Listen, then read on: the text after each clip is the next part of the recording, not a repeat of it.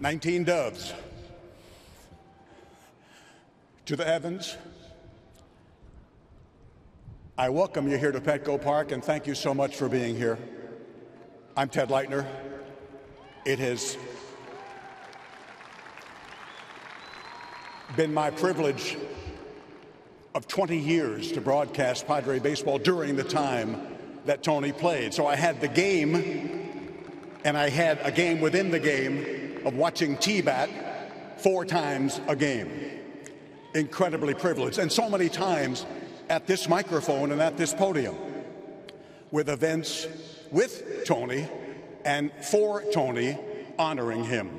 And I say to you from the bottom of my heart, and I know you share this, there was never a time that I thought that we would have this particular ceremony here today. Not in my lifetime, but it is what it is. So we will cry together, we will laugh together, we will have joy together today, but one thing we will never, never do is to forget the greatest hitter of his generation and one of the greatest people in the history of Major League Sport.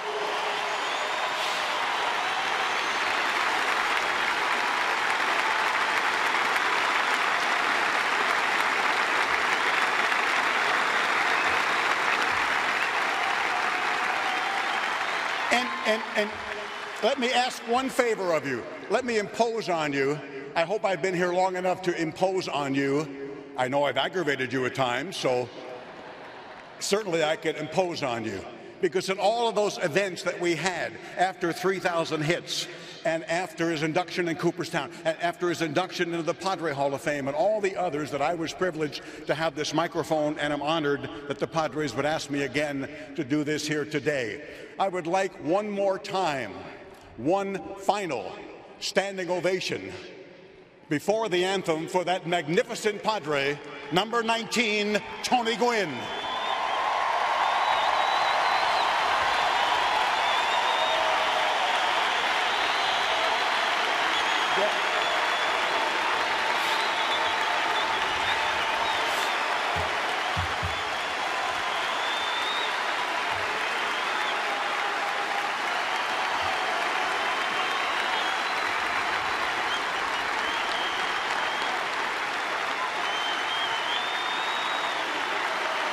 I hear you.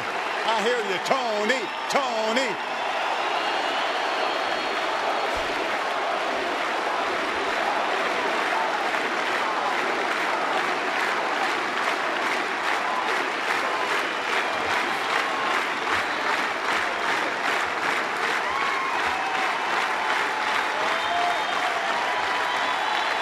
That's all right.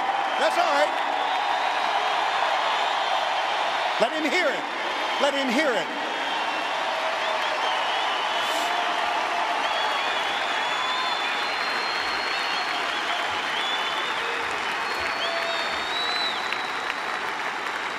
If you will remain standing, we will honor our beloved country with the playing of the national anthem, and so fittingly being played, and another welcome to those from the Aztec nation, as well as this program put on by my San Diego Padres. Mr. Ransom conducting the San Diego State Aztec Pep Band.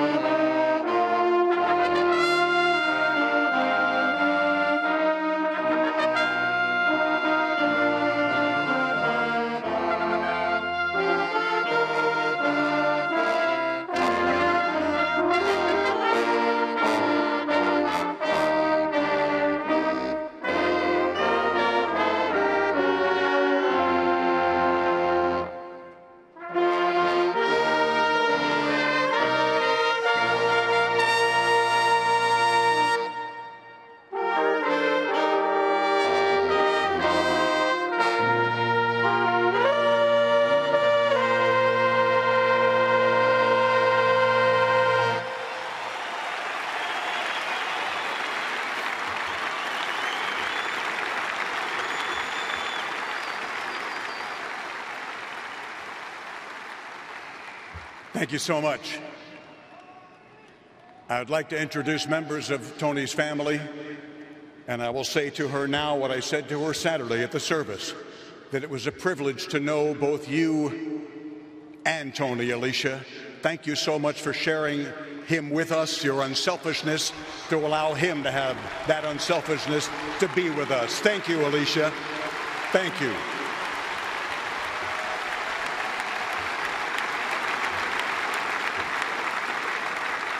To his beloved daughter, how many times he would say things to me about her and glow and glow, his daughter, Anisha Gwynn Jones. Welcome.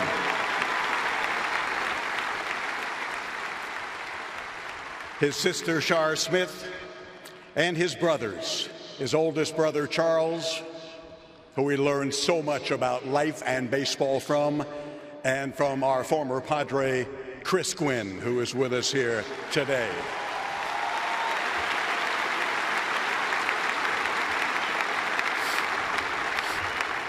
And he always told me, he always told me, his most joyous moment with a base hit was his home run in game one of the World Series in Yankee Stadium in 1998 against David Wells. But his second most favorite hit that brought him the second most joy in his life was the double by Chris that beat the Dodgers to clinch the division in 1996. Yeah.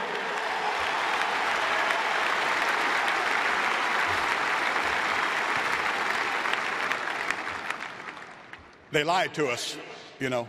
They lied to us in the movie A League of Their Own when the manager and the Tom Hanks character said, There's no crying in baseball. Wrong, huh? Since June 16, there's been almost nothing but crying in baseball. But Tuesday night, in that tough city of Philadelphia, tough, tough fans, when Tony Jr. pinch hit to a standing ovation for almost 60 seconds with tears in those eyes of those Philadelphians, that's the love for Tony Jr., and that's the love for Tony Sr. in Major League Baseball.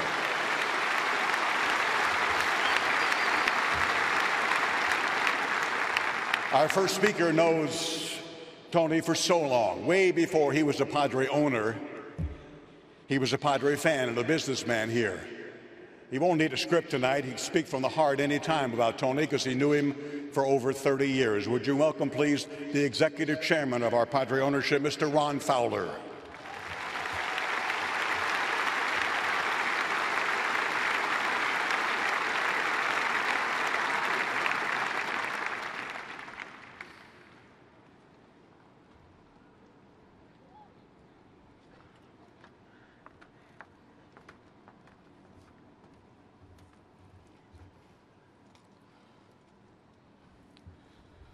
Thanks, Ted. I'm up here tonight on behalf of Padres ownership and the entire Padres organization to thank Alicia and the other members of the Gwynn family for both being here and for allowing us as a community to pay tribute to our Mr. Padre. I'd also like to thank all of Tony's fans, the thousands of you who are here tonight, for joining us.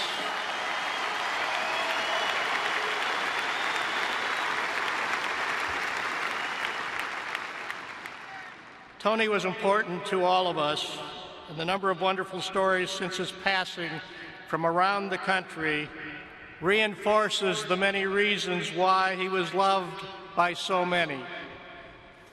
I first met Tony at SDSU in 1980 when he was playing baseball for Jim Dietz. Even then, more than 34 years ago, you could tell he was something special. And Coach Dietz, for those of you who knew him, has never been big on compliments. But he indicated that this kid, as he called him, had a great future. Two years later, on July 19th, 1982, yes, 7 1982, Tony became a Padre.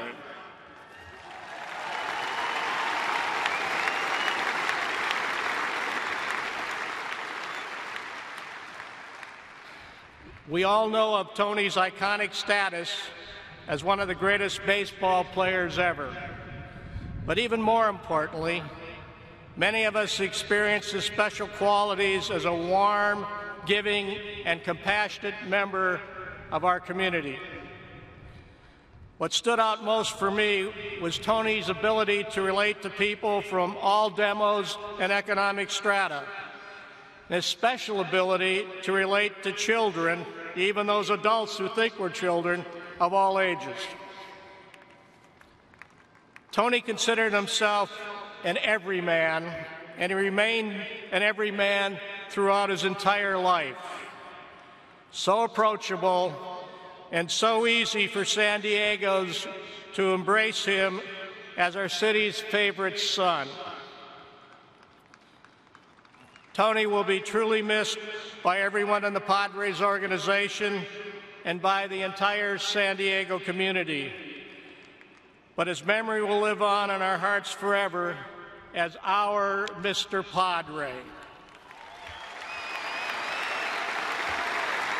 Tony, may you rest in peace.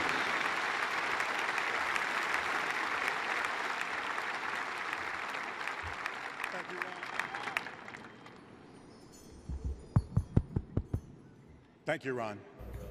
All I want them to say about me is that I played the game the way it was supposed to be played, period. Period. You know, they're going to say he was a pretty good hitter. You know, they, they're probably going to mention he won a couple of gold gloves and stole some bases one year, you know. Um, but for me, I played the game the way it was supposed to be played. I worked hard at it. I prepared for it. I tried to execute. You know, I tried to keep the fans involved. You know, I tried to keep my community involved, tried to keep my teammates involved.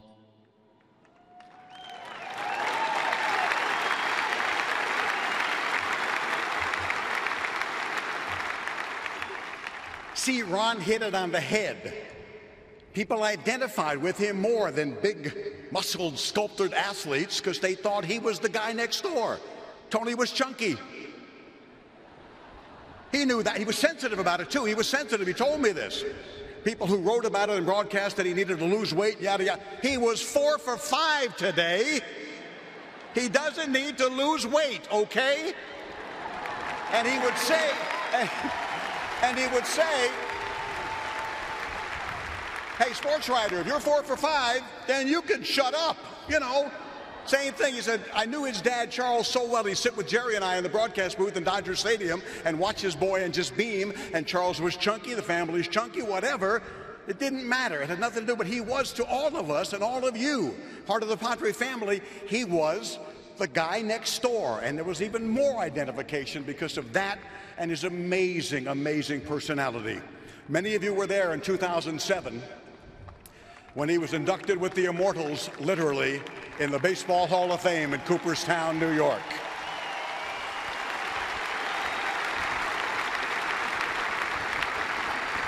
It was the biggest crowd in Cooperstown history beyond Ruth, beyond Mantle, beyond Aaron, beyond anybody when he and Cal Ripken were inducted that hot summer day in 07. 30,000 more than any other induction weekend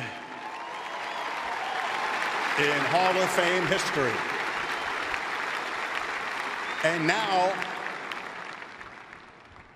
to speak on behalf of his friend, another Hall of Famer, a fellow Hall of Famer, who was, just like Tony, one of the dominant ones of his era, without any question. Ladies and gentlemen, Mr. October, Mr. Reggie Jackson, right here.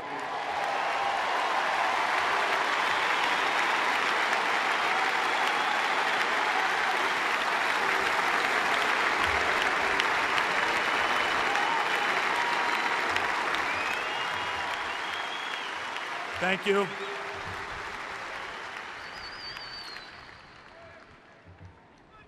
More, more than, more than anybody that was ever inducted.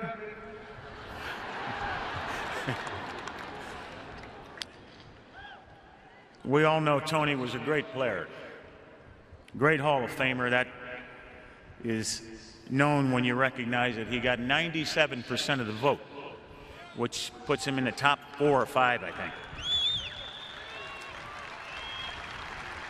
Like to give a Yankee salute to the Gwynn family, Alicia and Mrs. Gwynn, all the brothers and sisters and children. I will tell you that I'm honored to speak tonight because I have a great amount of respect for the dash that Tony Gwynn represented. His 54 years, it's really all about the dash. He was a genuine man. He was a quality man, 100% family man. He was a great son. a great husband, a great father, and a great brother, a great friend, and a great teammate. He was the example of what we all want to live and emulate as a person. He cared about his fellow man, and we understand and know that he cared about his community. He's a great Christian. I saw him at San Diego State University, and all he could talk about was his, was his kids. Some kid named Strasburg. He loved being around him. During the dash of his 54 years, he showed us a template of how to live with dignity. The only thing he ever did that I didn't like is every time he saw me, he always called me Mr. Jackson. I'll leave you with something to think about as I refer about baseball. I saw some great hitters. I saw Mike Schmidt and Jim Rice, Kaline, Dick Allen, Molitor, Yount, and Brett, Cooper and Bench. I saw Mays, Aaron, Clemente, Billy Williams, Stargell, and Stretch McCovey. I saw Banks at the end. Number 19, Tony Gwynn, belongs on that page. Thank you.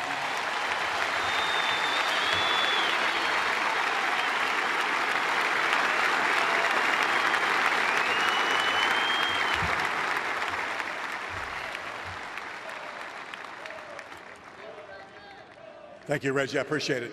And we all do that you're here today. See, nobody's talking about at bats and number of hits. We know those numbers 3,141 hits and 15 All Star games and eight batting titles and five gold gloves and all that stuff. But it's, and that is greatness unto itself. But it's so beyond that. It's so beyond that uh, about the man and the compassion. Um, although there was a stat that I saw from Jayson Stark, a broadcaster and writer, that said if you take Tony's 338 lifetime average and you add 1,180 at bats, as in he might have an O for 1,100, and he'd still have a 300 lifetime average. That's what we're talking about here. That's what we're talking about. When pitchers would be asked, How do you pitch to Tony Gwynn? And they'd use the old line by the Boston Red Sox, Frank Sullivan, in pitching to Mickey Mantle, when they would ask him, How do you pitch to Tony Gwynn? With tears in my eyes. That's how. But he stayed here. It was never about the money. It was about you folks. It was about you folks. Yeah, it was about this Padres organization that he loved.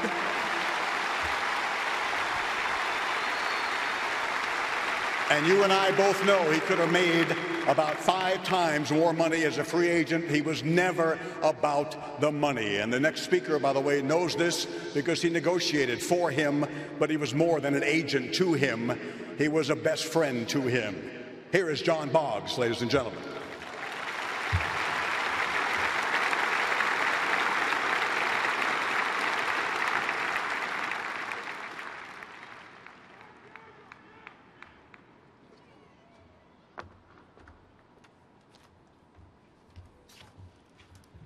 Thank you, Ted, and good evening.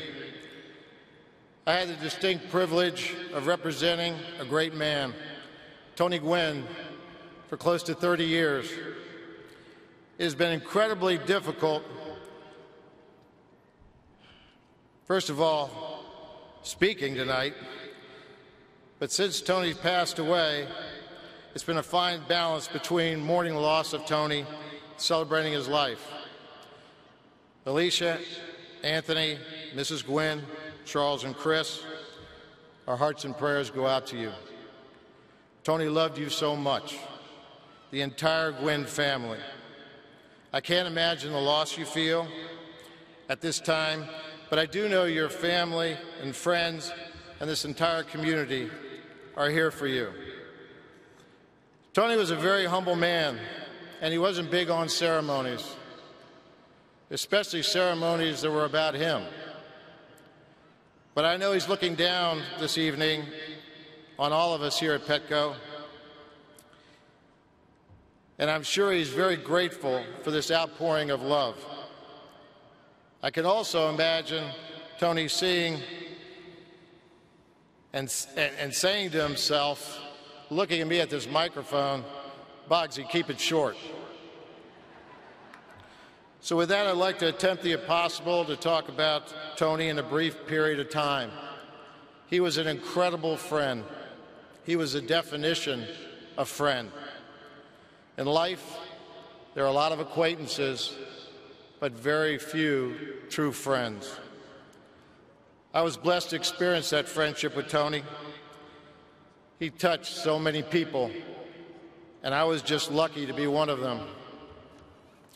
I met him in the early 80s working for Garvey Marketing Group. And that turned into a day that changed my life when Tony and Alicia came to my office and asked if I would be Tony's agent. It was the fastest yes that ever crossed my lips. A dream come true and incredible. And that privilege created so many memories. And I'm not just talking about the eight batting titles, the Hall of Fame, the All Star game. No, I'm talking about being around Tony Gwynn, the man, the person. We had so, he was so much better than the statistics he accumulated. I smile remembering how he loved to set me up. We'd do an appearance, and uh, the fans would line up to get his autograph. He'd turn to me and say, All right, Boggsy, uh, one autograph per person, right? I said, Absolutely. And sure enough, the line would start, and there'd be a little boy that came up and put three balls down, and I had to tell him, only one autograph per person. And Tony would look at the little boy, and then he'd look at me, and he'd say, Don't listen to him, he's not in charge. I'll sign whatever you got. Then he'd smile, and he'd give me that great laugh. Gosh, did he have a great laugh. Then there was his work ethic. He'd go four for four and yet not be really happy with his performance because his swing didn't feel right. Then he'd go 0 for 4, and I'd say, Tough game, T. And he'd go, No, I hit the ball every time on the screws. I'm locked in. There was also the memory of Tony and Ted Williams together in the first interview they did together. And I've never seen Tony so energized and excited as two of the greatest hitters exchange baseball knowledge. Ted peppered Tony with every question, and Tony answered every one of them absolutely to the T. And Ted would say, correct on every one.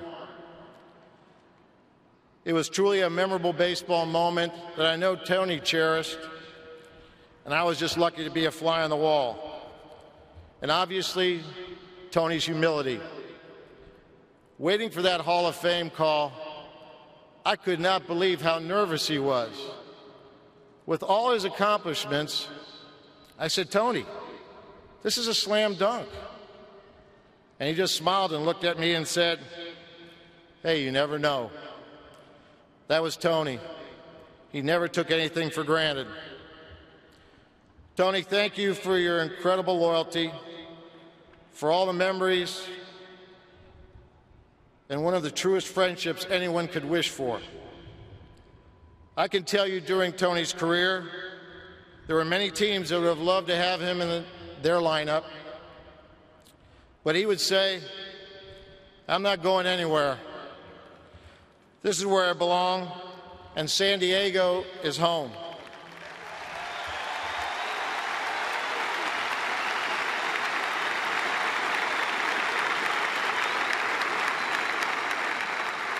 To the fans, he loved you and appreciated you more than I convey into words. He loved the city of San Diego. He loved being an Aztec and he most definitely loved being a Padre. He was and always will be Mr. Padre.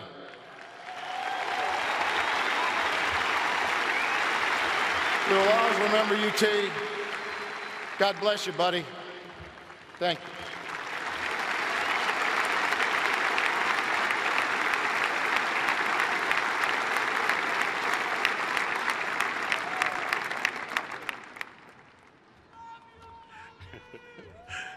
Thank you, Bugsy. John told me, make sure you tell him about the first gold glove. Because Tony was not a good outfielder at San Diego State. He was not. He turned himself into a great outfielder the Gwynn way. Work, work, long toss, 200 feet, 300 feet, on and on and on, until he became a guy with a big arm that you would not run on, remember? And a great right fielder. And he was on a speaking engagement in the South, told me he had the flu, sick as can be. And Bugsy called him and said, Tony, you won your first gold glove. And he, Tony told me, as sick as he was, he, by himself in the hotel room, jumped up and down on the bed. No, no, not just up and down, but the bicycle thing. You know, the legs pumping, legs pumping like pistons. I won my first gold glove. Yeah, with his hard work, like he always did. There has been an outpouring of love, not just here, but throughout the nation. On the 16th, Jimmy Kimmel of ABC from his talk show tweeted, This country has lost my favorite athlete of all time. And those tributes have come from all across the country, and they're coming now if you will join us on the video boards here at Petco Park. I'm a Padre. I'm a San Diego Padre. You know, and I've been a Padre my whole career, and I'm proud of that. And uh, everything I've done, I've done in a Padre uniform. So when my career is over and people look back and they see San Diego all the way down the line, man, that, that means a lot to me.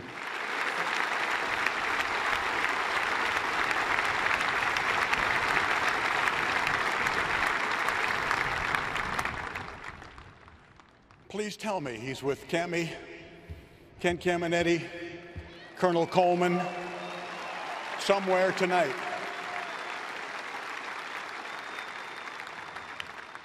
Would you welcome, please, the mayor of the city of San Diego, California, the Honorable Kevin Faulconer.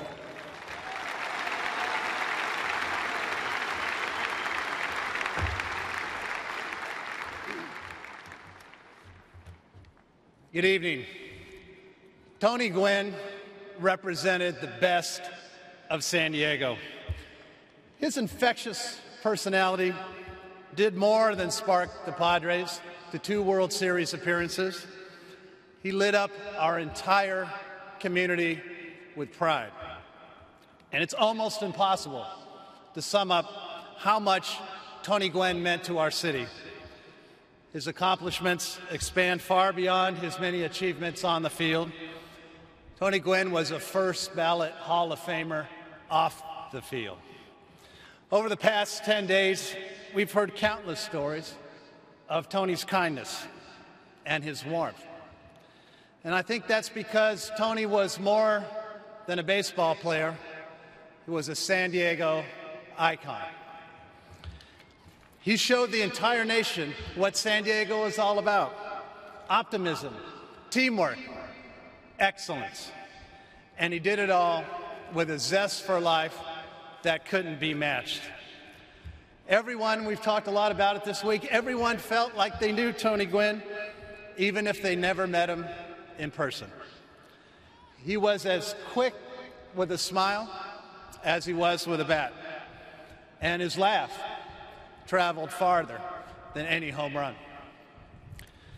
You know, and it's been said that Tony Gwynn could have left San Diego for more money, but it was never about that. Instead, of course, Tony chose to stay here for his entire career. He made not only San Diego his home, but he invested himself in our future. He and Alicia created the Tony and Alicia Gwynn Foundation that is helping local youth become healthy, educated, and productive citizens of our great city.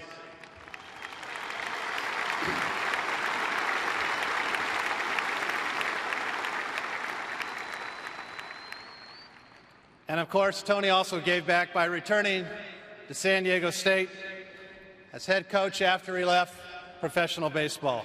He never forgot his roots. He remained a proud Aztec alum who mentored and inspired a new generation of athletes. Everything that Tony Gwynn did throughout his life became better, became so much better because of his association with it.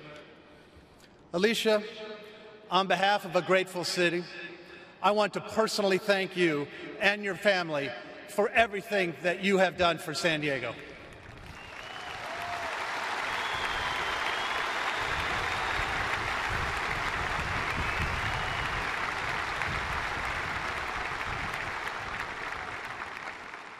On and off the field, Tony Gwynn brought us to new heights. On and off the field, Tony Gwynn made us proud. On and off the field, Tony Gwynn was more than Mr. Padre. Tony Gwynn was without a doubt Mr. San Diego. Thank you.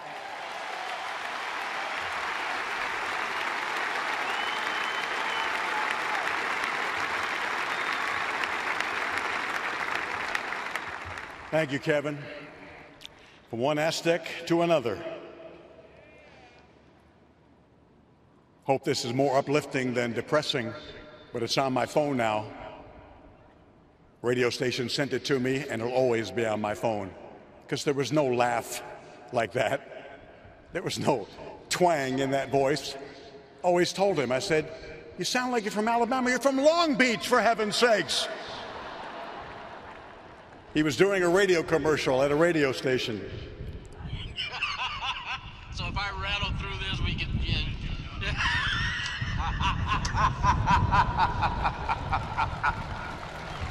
Ah. Ah. The greatest laugh of all time. And you know, you know, you know the hardest I ever saw him laugh that actually took the better part of an hour we had a game in St. Louis. We're flying back. We have to refuel in Phoenix. We land in Phoenix, we refuel, and we're taking off, and we go, and they're serving hamburgers. Now, Tony's Tony, so he's laughing, and he's looking around, got surrounded by all these players. And while he's looking around talking, Mark Davis, closer, Cy Young Award winner, reaches in and takes the meat out of his bun, out of the burger takes the hamburger patty out of there and puts the bun on top of the bun. And Tony doesn't know. He keeps talking and he keeps laughing. And I'm watching him and I'm watching him. And the players are watching him and watching him. And he keeps eating and he keeps eating. And he finally realizes, what the? Hey! And then he realized what they had done to him. And he started to laugh and laugh and laugh. And he would stop for five minutes on the flight to San Diego from Phoenix. And then he would think about what they did again. And he'd start up again. Oh, it was the best. It was the best. To be in Qualcomm in the clubhouse and watch him next to Rickey Henderson, nobody made him laugh like Rickey. Nobody. It was better than the game. I could have broadcast that instead of the game. Rickey told him one time about this game where they played in the fog and the rain, and Rickey was out there all by himself in left field. He said, T, T, I was out there in left field. I felt like the lost Mohican. And Tony said, You mean the last Mohican? And they start to laugh and laugh and laugh. I know you will. You'll always remember that laugh. You'll always remember that man. To speak of him also, who knew him a long, long time, not just holding political office, but a long-time Padre fan and a long-time Tony Gwynn fan. Welcome, San Diego County Supervisor Ron Roberts.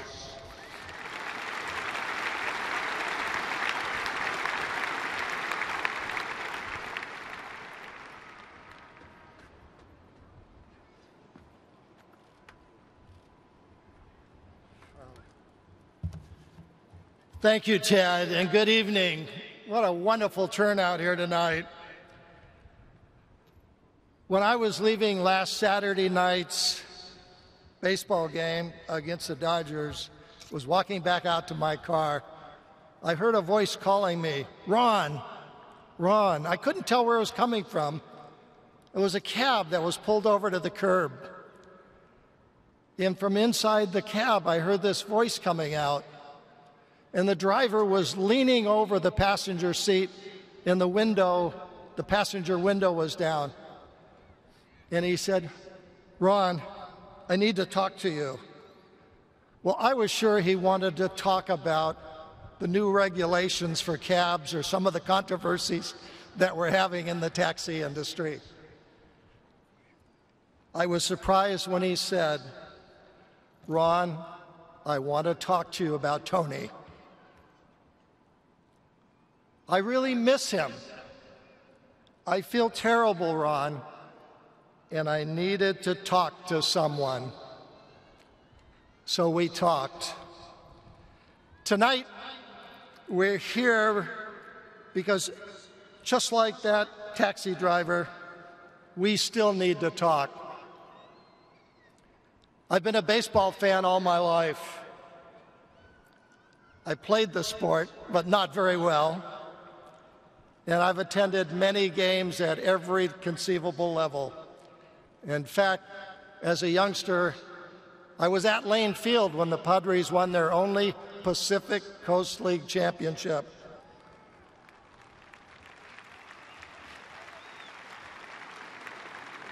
It was a victory over the Hollywood Stars. Nobody would even remember they were a team.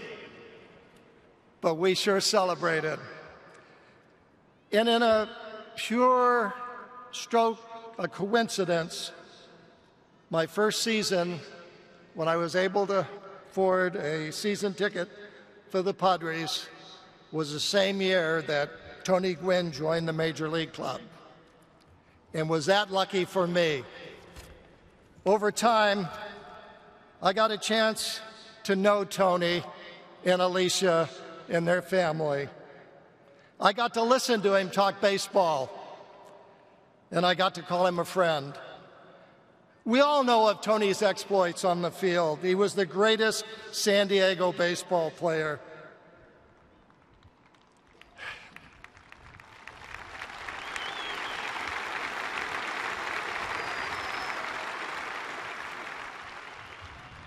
And in sports, there are a number of good players. And that's why when we're young, we have a lot of sports heroes. When we get older, cynicism creeps in, and sometimes it makes us question their accomplishments. But we never question Tony Gwynn's accomplishments.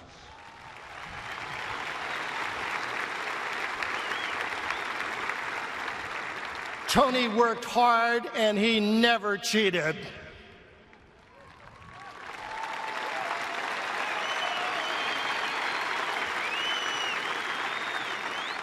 Tony was a hero to us when we were younger, and he remained a hero to us as we aged.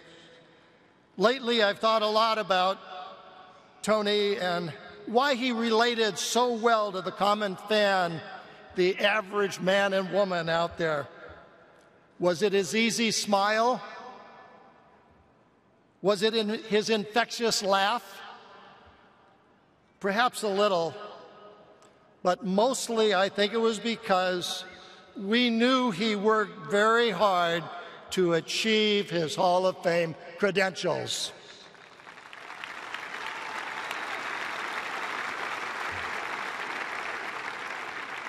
Like many others, success did not come easy for Tony Gwynn. Let me share what a Houston Astros 1981 scouting report said about Tony. He doesn't throw well. He labors to run and wobbles sometime. He has slight timing hitch that causes him to inside out a lot of pitches.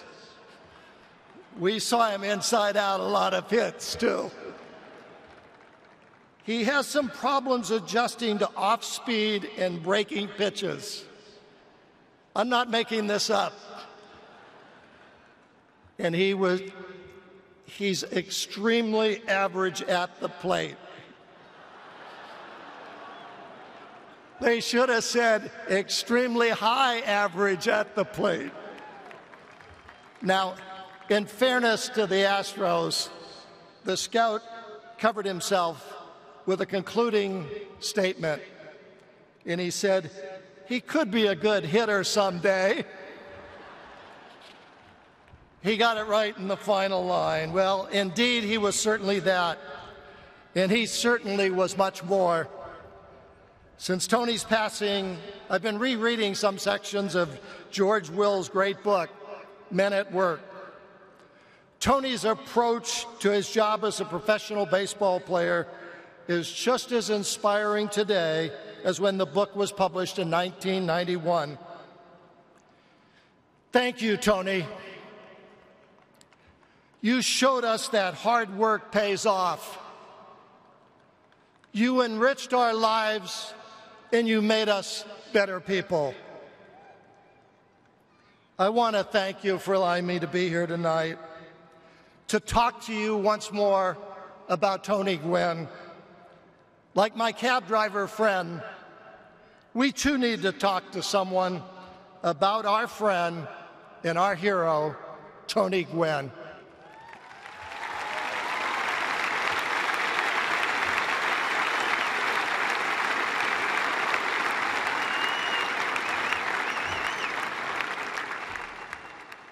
I would once again like to turn your attention, join us at the video screen as many people in and out of baseball of all walks of life talked about T during the time he played, after the time he played.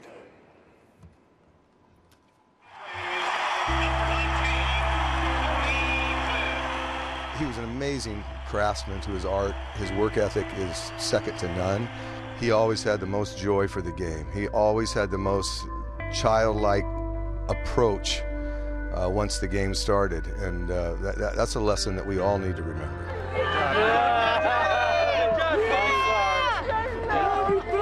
The youth of San Diego, I think what they respected most about Tony is not just the player, but the type of guy that he was. There's been a love affair with Tony Gwynn, even from his college days, because of the way uh, he treats people and, and the way he performed out there on the field. And there it is. He said he was going to do it, and he does. I always remember Tony's chuckle. always remember that laugh where he wasn't in the mix, he was just enjoying it. And, and that's the way he liked it. He's a genuine guy with so much class and so much excellence in what he did well. And uh, how lucky we are to have been able to rub shoulders with his greatness. Quite honestly, I wanted to be more like Tony Gwynn than you could imagine. It was far reaching from when I started out in the major leagues to where I ended up was to be a complete hitter, like Tony Gwynn. Just trying to emulate everything he did, trying to shoot the 5.5 hole, and you know, whenever I got hits like that, I would be like, oh, that was like Tony Gwynn. So it was really exciting to to be able to watch him and try to do things that he did. Line drive, center field. There it is. Number 3,000 for Tony Gwynn. He was a guy that didn't really hit for power, but he just hit. He had such a passion for hitting. Um, it wasn't, uh, I think he enjoyed practice and uh, working at it, trying to get better as much as he did the actual hits in the game. I remember him after a game leaving the ballpark and going to a batting cage somewhere with his batting gloves. He was just so diligent in his work on trying to get it right. He was a perfectionist. Anybody that can do that for 19 straight seasons, I mean, that's a great ball player. A line drive Well, he was the best hitter that I ever faced, no question about it. And not only because he was a master at understanding his own abilities in the batter's box, but also he understood what the pitcher was trying to do. The best way to pitch Tony Gwynn was with nobody on. He really made you bear down on the guy before him and the guy after him because he was that good. There, there was really no game plan against him other than uh, if you can make him hit it to left field, that's kind of a success. Yes, sir. Base hit, Tony Gwynn. He drove me crazy, that's for sure, because he'd hit a ball just to the left of the shortstop. So the next time up, I'd move the shortstop over, and then he'd hit a ball right to the right of the shortstop. I said, doesn't this guy ever hit into a double play? He, he ran quickly. He could get the balls in the gap, wasn't afraid of the wall, and took pride in his defense. Defensively, you know, it was a little bit different. It didn't come as natural to him. You know, he he worked from day one. He got the opportunity to, to play. He worked on his defense. You know, five Gold Gloves kind of speaks for itself. He's Mr. Padre, and uh, you know he's the player that everybody attached themselves to. And we had some long, uh, lean years there, and and everybody just loved him. Thank you. He loved them, and they knew it. He made himself available to the fans. He would talk baseball with anybody, and uh, they they uh, realized uh, what a talent he was, but also what a great guy and a humble guy he was. My dad being one of the greatest hitters, you know, great defensive player, just a well-respected guy around the league and off the field. You know, I'm real proud of that. But obviously, I'm most proud that, that that's my father.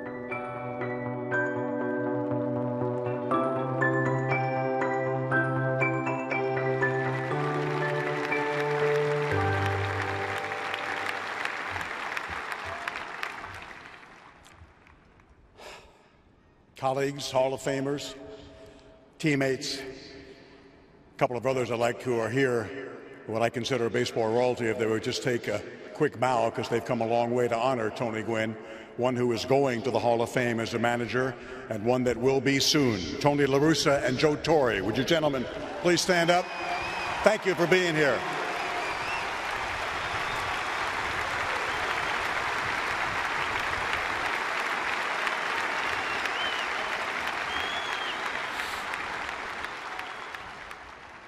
He learned how to play, and he learned that wasn't good enough. He had to pass it on to others. And somebody else, I'll take a bow here because Tony told me this was the guy that taught him how to be a professional, how to give to the media, give of his time, give to the fans, sign those autographs. And that is Steve Garvey. Take a bow, Garv, right there.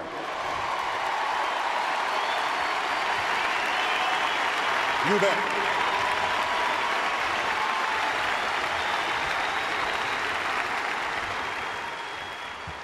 Told me that's that's where he learned watching that guy go about his business and then he turned it around and gave to other guys like our next speaker who loved him as we love him and boy tony loved him. Welcome back dj damian jackson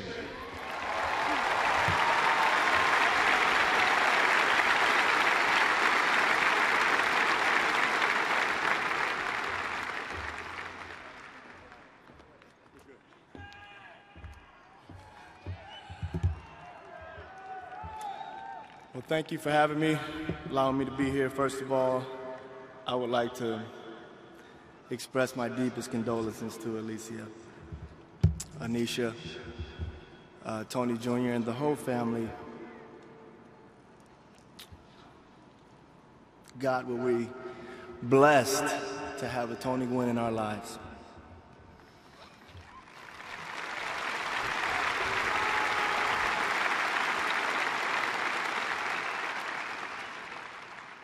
When I first met Tony Gwynn, it was on the back end of his career. And the only reason why I mention that is because he had accomplished so many things, uh, accolades and awards. And me being the baseball fan that I was, I was extremely aware of his presence. He was a baseball giant to me. One quick baseball story because who he was what, as a man so overshadows what he was as a baseball player, and that's amazing to me. But Tony Gwynn put the barrel on the ball so well. He had his own hit and run sign. And I had the pleasure of leading off for the Padres, and Tony hit second. And when I got on, he would give me the hit and run sign.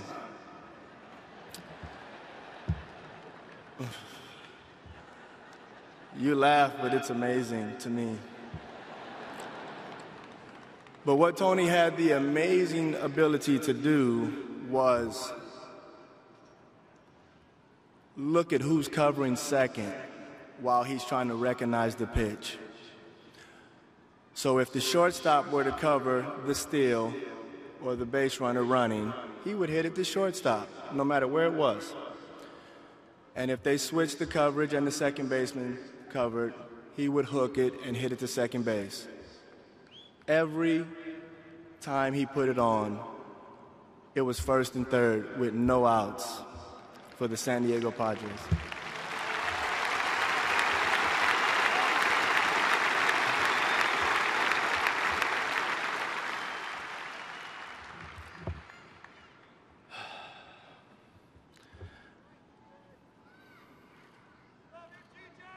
I've learned to pay attention with my eyes a lot. Um, and the one thing that you didn't have a hard time doing was paying attention to Tony, this baseball giant, as he not only showed us how to play the game the right way, but he also showed us how to be the right person and be a great, respected man in the community. But more importantly, family is something that stands out the most to me. That's something that I gravitate more towards. And boy, did he love his family. He talked about them daily. When he talked about his children, he just lit up like the sun. And it was something that I envied, partly because I never had a dad, and he would have been a great dad to have.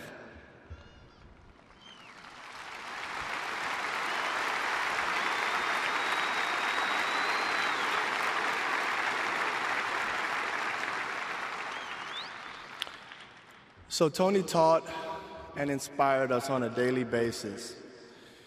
Me being this young guy coming in here, gosh, I was so blessed um, to not only witness a Hall of Fame ball player, but he was a Hall of Fame man in my eyes.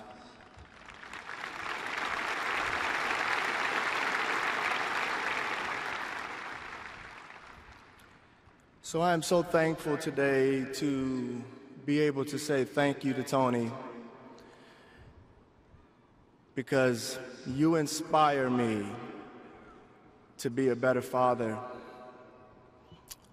You inspire me to be a better man. And your legacy lives on in this city and in my heart. And thank you, Tony. May you rest in peace.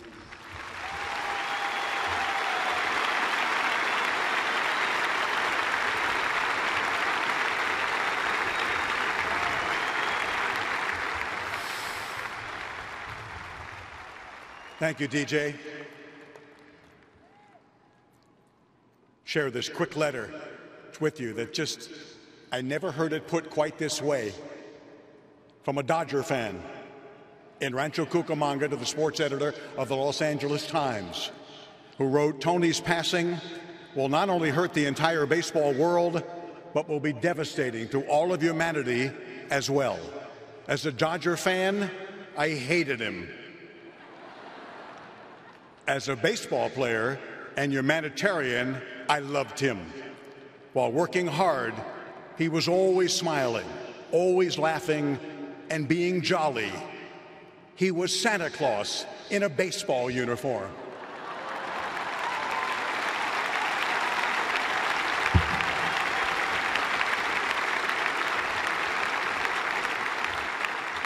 You can't write that. You can't make that up. That's what T meant to everyone here and so many millions more around this country. This gentleman has come to honor Tony because baseball has lost one of its favorite sons. He's come all the way from New York City to do so. Would you welcome, please, the Chief Executive Officer of Major League Baseball, Mr. Rob Manfred?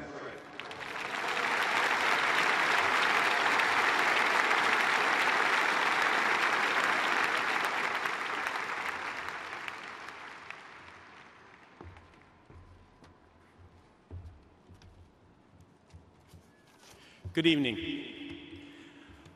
On behalf of Commissioner Selig and all of us at Major League Baseball, I'd like to thank the Padres organization and Ron Fowler in particular for giving us the opportunity to participate in a tribute to one of the greatest players of our time.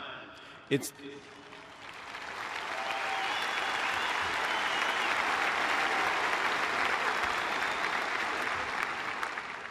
It's an honor for me to be here to offer a few words about a player who gave so much to our great game. In my 25 years in the game, I've known scores of players.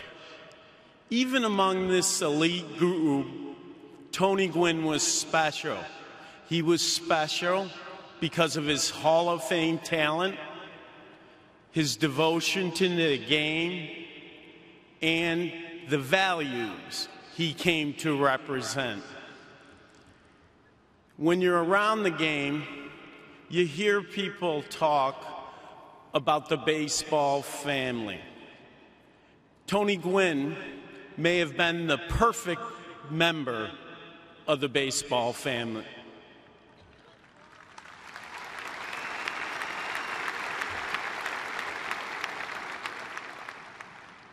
I would not presume to tell the fans of San Diego how great Tony was on the field. You had him all 20 years.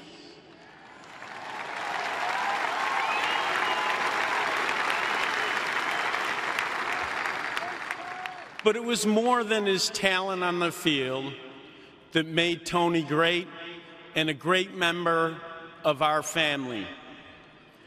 While he was playing, baseball could always count on Tony to do the right thing.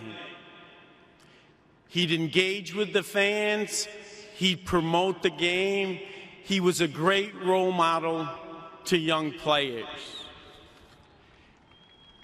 In 1999, baseball honored Tony with his highest award for sportsmanship and community service, the Roberto Clemente Award.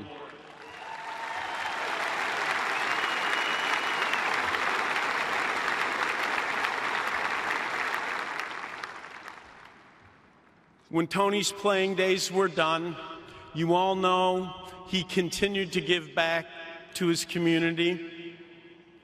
He taught young players how to be great players and how to live their lives.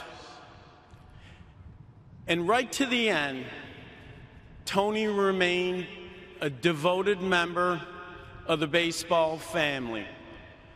One of his last projects was to make a public service announcement that will be used to educate major league players and young players across America.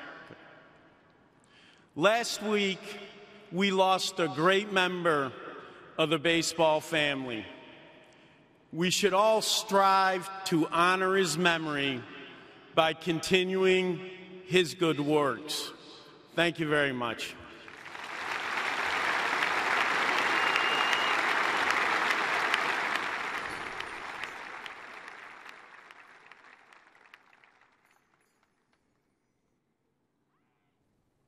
In my case, having been here as long as I've been here, I mean, there's people in this community that, that have grown up watching me play baseball. And now they have families of their own and they're bringing their own kids out to watch me play baseball. And when you think about that, it's, it's you know, it's a big responsibility. And all you can do is try to do the right thing. That's basically what I've tried to do. I just try to do the right thing.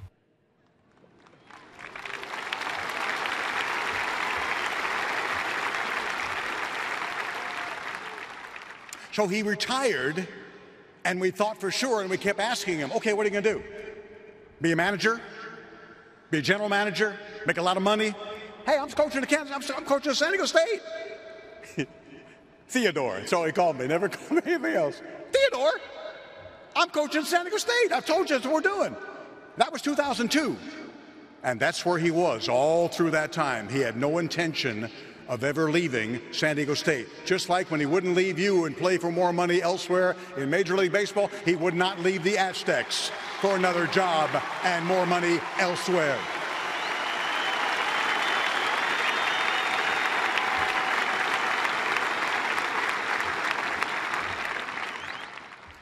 Rob mentioned those awards, including the Branch Rickey Award. Like Branch Rickey said, it's not the honor that you take with you, it's the legacy that you leave behind and that's what T has done.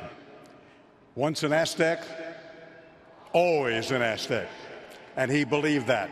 So, welcome our next speaker, the man who took over when Tony had more treatments and was too ill to continue on, and took Tony's boys on to the Mountain West Championship and the NCAA Regional and the College World Series in Louisiana, the executive head coach, Mark Martinez.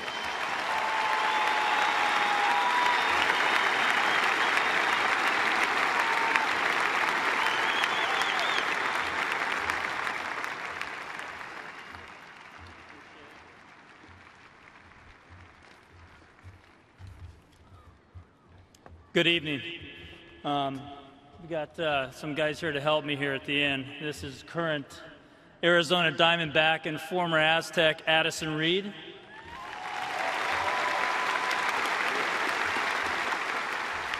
I'm going to do this one the opposite. This is former Aztec and future Florida Marlin, Brad Hanel.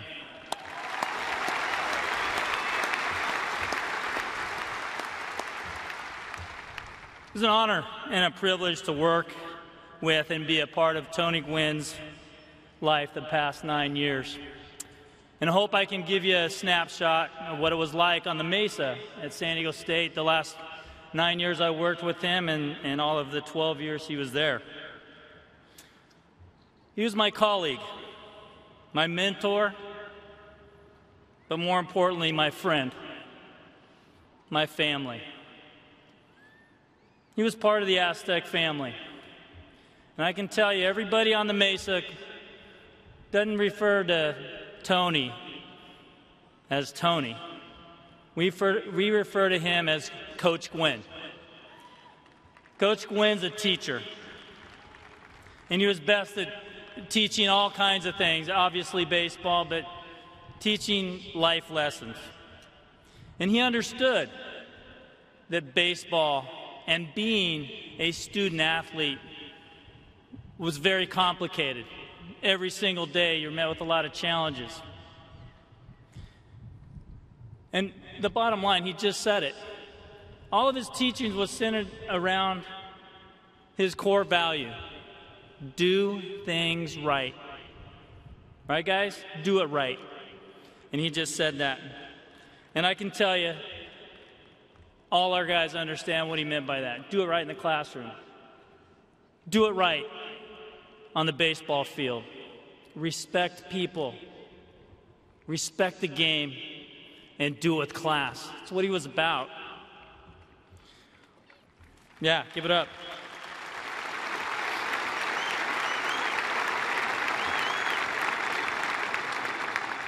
And by doing it right, Coach Gwynn again understood how complicated baseball was. So he tried to simplify the game. And again, baseball's hard. It's hard to hit a baseball. Not for Coach Gwynn, but most of us. And so on the Mesa, you know, simplifying the game for him, he, he would have sayings that he had all the time. And, and just to give you the snapshot, we would hear sayings like, again, this is going to be the G rated version. I hope you understand that. So I'm not going to do the, the PG 13, okay? He'd say, back it up. He would say, back that blank up hit it the other way. Simplify it, see it deep. He would say, Hey, you can't play with a tight booty, man. Loosen up your booty. Play with a little confidence, a little swag. Uh, again, G rated. If you swing it doo doo, you're going to get doo doo. Fill in the blank. Pitchers, very simple. Strike one. He knew how important it was to get ahead in the count. He knew how difficult it was for our guys to hit 0 1. Now, it wasn't difficult for Coach Gwynn, but he knew our guys had a hard time hitting 0 1. Anytime he got done with these lessons, he would always say, Any questions? There were never questions. He'd say, There never are. And then he would say, Let's go to work. Let's go to work. Does that not embody what he was about for 20 years in the big leagues and 12 years on the Mesa?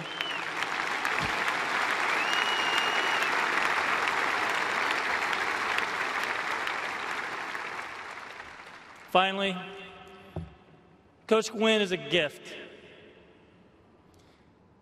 He's a gift to all of us. His laugh, his mentorship, the way he made you feel important, even if he just met you for the first time. He gave these gifts every single day. And I can tell you that, Ted, you just mentioned Santa Claus. Our players know what I'm talking about here. Our players had two holidays every single every single winter. Had the gift giving holiday in December, and come January, Coach Gwynn showered them with gifts, right? They got more gear. Coach Gwynn loved gear. Damien, right? More gear than you can. I'm telling you, five players of cleats, five hats, stuff we never used, but it was his way of saying, you know what, I love you guys. I appreciate you guys.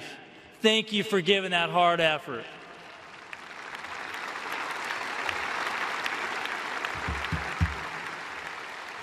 The last gift he gave us, all of us on the Mesa, is he, he made sure that everybody that, that came through those doors at Tony Gwynn Stadium learned the fight song. And we sung that fight song after every victory in front of our home dugout at home. And when we got on the bus, even if it was in, in the mountains of Colorado Springs, we would sing that fight song as loud and proud as we could do it. So, what we would like to do here is hopefully, if, if you don't know the words, we all want to stand up. If you do know the words, we're going to sing along together. And for Coach Gwynn, it's going to be our gift to you tonight to sing the fight song one last time. Fight song for Coach Gwynn.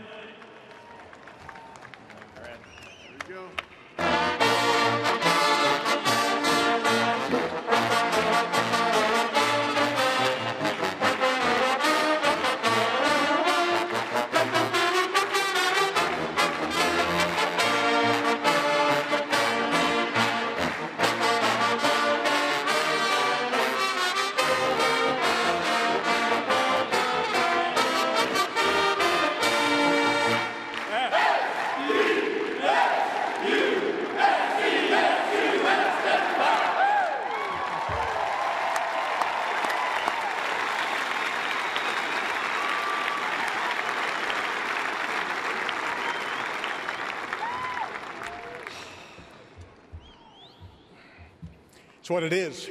Oh, yeah, we're mourning, but we're celebrating an amazing, amazing life of an amazing, amazing man, our dear friend Tony Gwynn.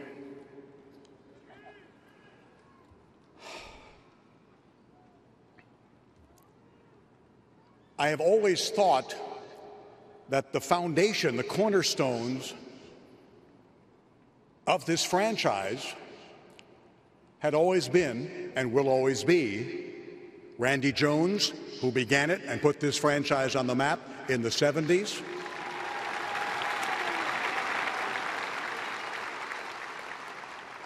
Tony, of course. Gerald Francis Coleman Jr. Gerald Francis Coleman, my broadcast partner, always, always and the final cornerstone of this franchise will be our final speaker.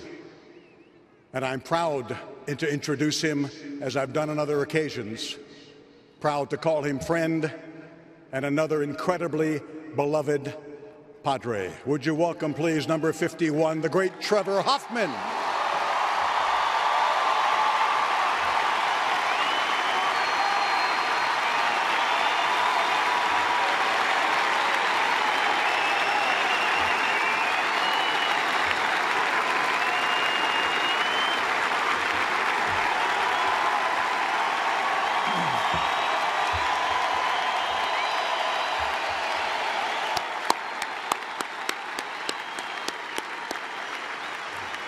Thank you.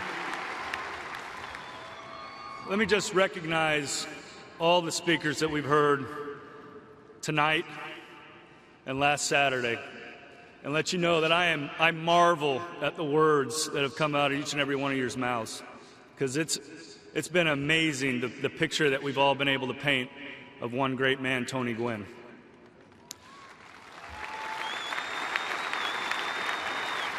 I said this on Saturday. It was about 21 years ago to the date that I went from Florida to San Diego and became a Padre.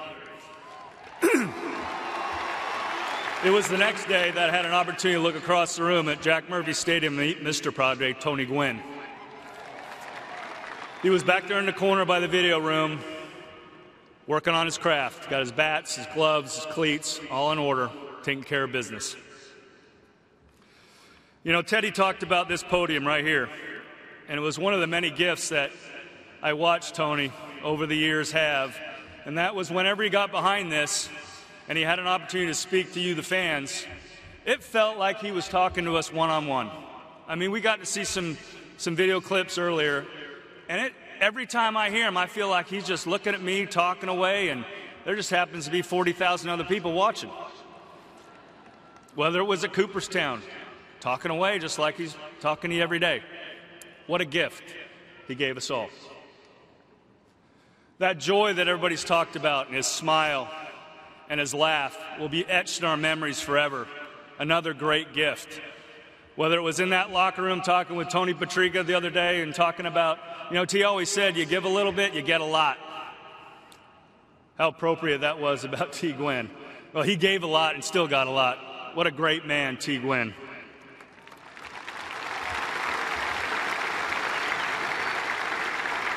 I stand up here with some jerseys, and it's about his teams. Team Gwynn, I see first. And Alicia, behind every great man and in front of is a great woman.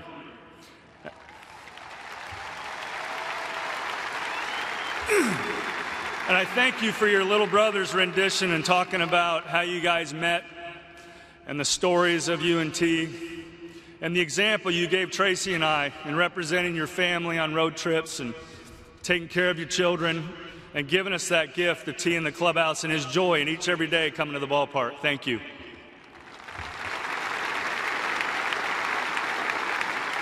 That joy extended to his, his daughter Anisha whenever she would sing. And I love that picture of your daddy looking at you before you went down that aisle because that was such his look.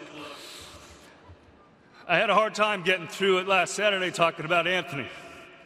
That little boy in that locker that I got a chance to see grow up and be a fine young man and representing the Gwynn family oh so well today in Philadelphia.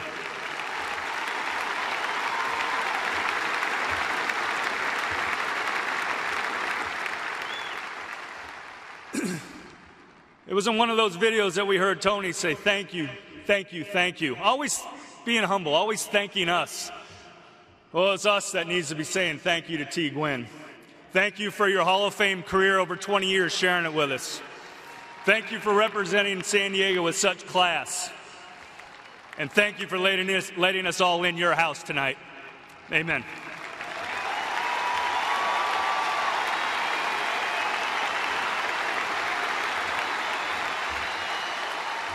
Trevor Hoffman.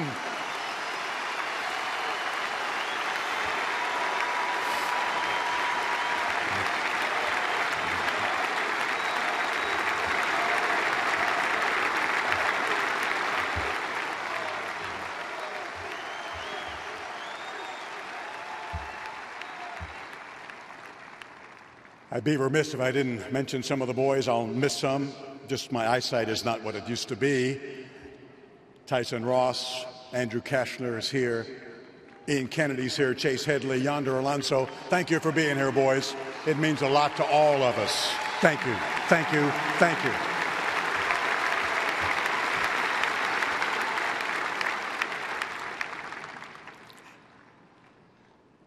One final, final guest. And if you saw that video of the event after the 3,000th hit in Montreal, and she was sitting on his lap, and he was just beaming. And he told me before that, I'm so nervous, I'm so nervous. Because his little girl was going to sing the national anthem. And she did like a Gwynn. She practiced, and she practiced, and she's a professional anyway, so she knocked it out of the park, as you would expect a Gwynn to do. Would you welcome, please, Tony's beloved daughter, Anisha Gwynn Jones?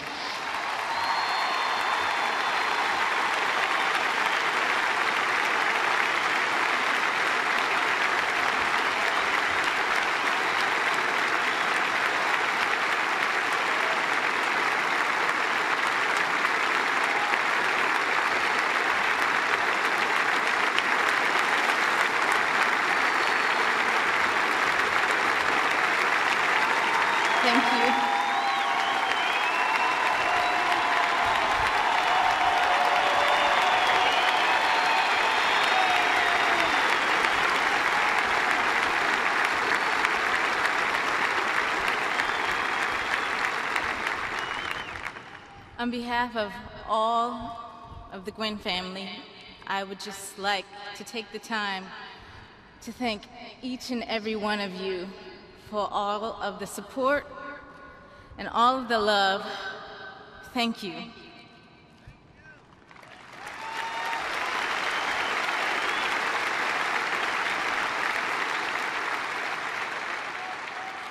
You guys are why my dad loves San Diego so much. So thank you, good night, God bless, and be safe.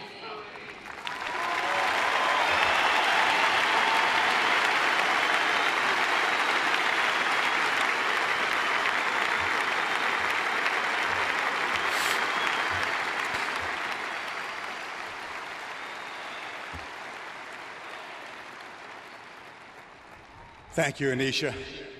Coming toward the end of this program, celebrating the amazing life, this incandescent life of that smile, that laugh, that man, that work ethic, that personality, that character, that integrity.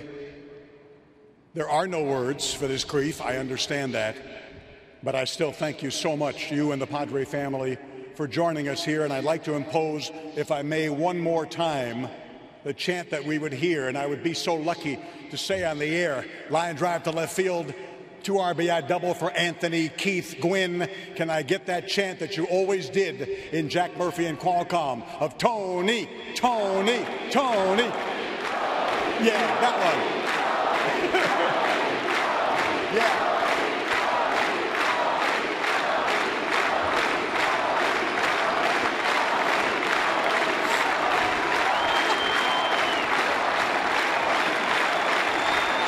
Thank you.